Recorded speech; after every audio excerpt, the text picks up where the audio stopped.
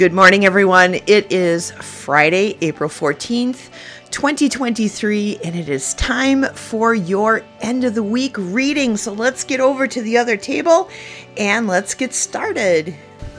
All right. So today, I'm going to be pulling an oracle card from the Messages from the Spirits of Nature Oracle in in recognition of this beautiful spring weather that we've been having.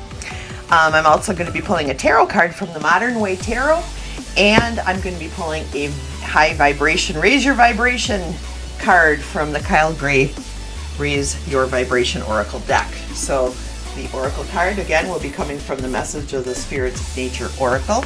So let me get these shuffled, and as I do, I'm going to ask the angels to protect us. I'm going to ask the spirits of the land and my home to surround us, and I'm going to be asking the ancestors to give us wisdom. What do we need to know for the weekend, Spirit? What do you want us to focus on? Please and thank you so much. I love you, Spirit team, so much. All right. Oh my goodness. All right, so our oracle card of the day is the Eagle Vision.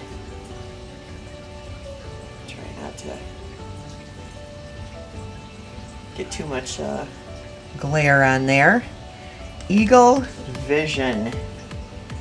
All right, so let's pull our tarot card from the Modern Way Tarot, which is what I'm going to be using today and on Sunday for our weekly reading. So let's get these shuffled. And let's get some clarification on Eagle Vision.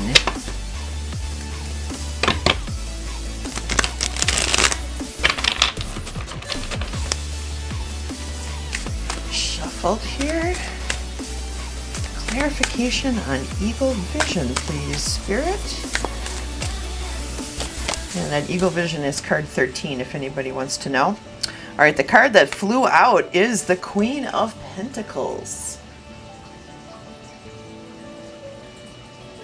The Queen of Pentacles. All right, so let's take a look at this. All right, so when I look at the Queen of Pentacles, the first thing I think of is a woman who's made it.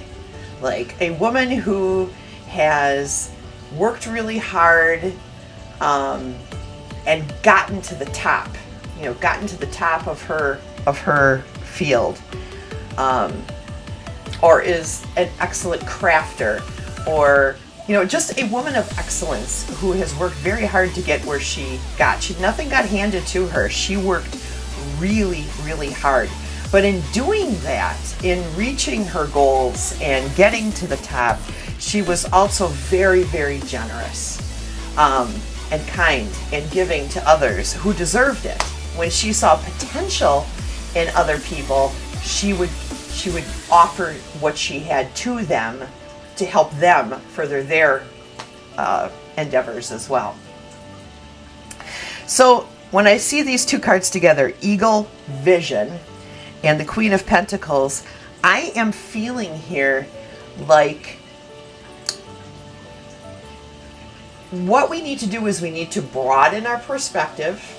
Okay, you know, step back and broaden our perspective and look at what's available to us right now and see where it is in life where we can use our gifts to be generous, to be kind, to help others further their endeavors as well.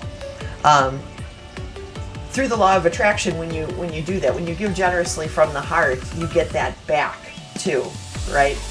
But we don't want to be singly focused on one thing. We want to take a broad perspective and really look and see and and um, spend some time thinking about how our gifts can can better affect people and what is the best way to do that.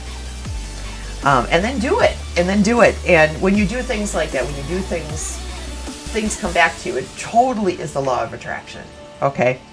So that's what i'm getting today from these two cards but let's pull a high vibe card here. You know what? i'm going to pull the one what's on the bottom? On the bottom we have i trust the wisdom within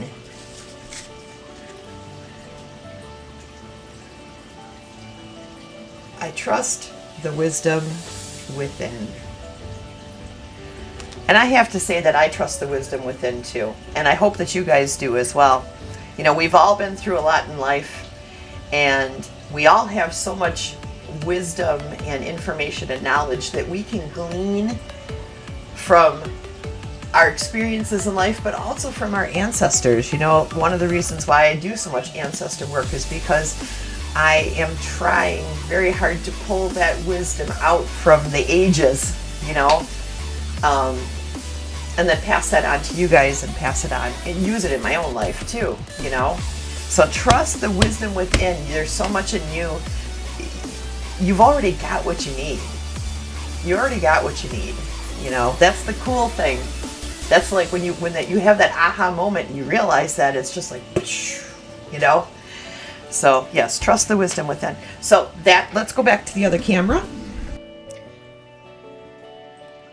So that is my short little reading for today you guys. I love you guys. I hope you have a great weekend.